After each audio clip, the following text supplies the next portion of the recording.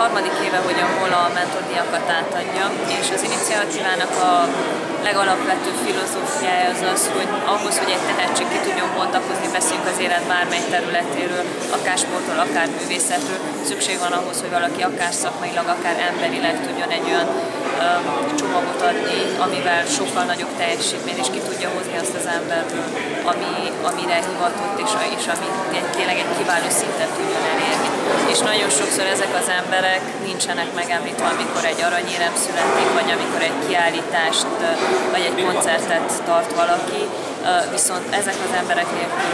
ez soha nem tudott volna megtörténni. Ez az egyik alapfilozófiája, miért ezt a MOL fölvállalt ezt a programot. Hogyan választják ki azokat, akiket díjaznak? Maga a kiválasztási folyamatnak ugye az első lépése az,